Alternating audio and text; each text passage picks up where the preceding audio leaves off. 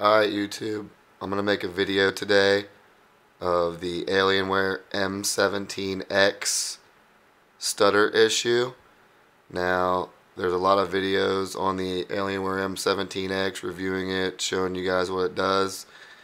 I'd like to show you the stuttering issues that Dell still has not fixed.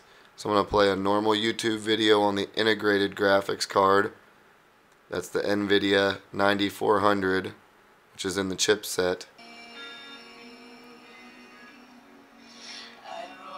If you look at the DPC latency, you'll notice that there's no stutter.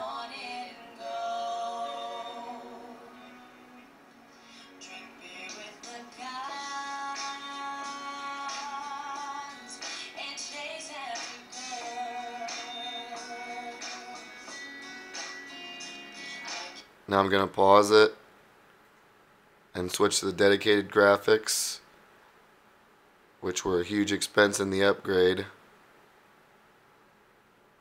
obviously and look before I even start the video you see a big red spike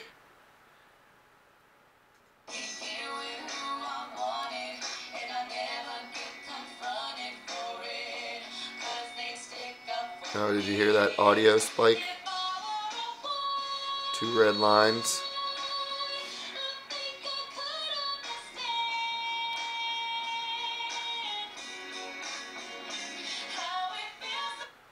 Alright, I want to give credit to uh, Run on the Rocks. That's their YouTube video postings. And there you have it. You can see the spikes with the dedicated graphics cards.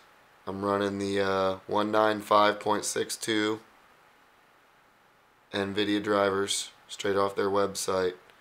Uh, the cause is from the cards upclocking and downclocking and it makes the uh, laptop unusable.